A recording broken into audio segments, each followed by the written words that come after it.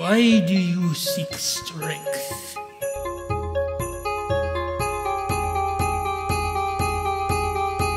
Is it for yourself or for someone else's sake?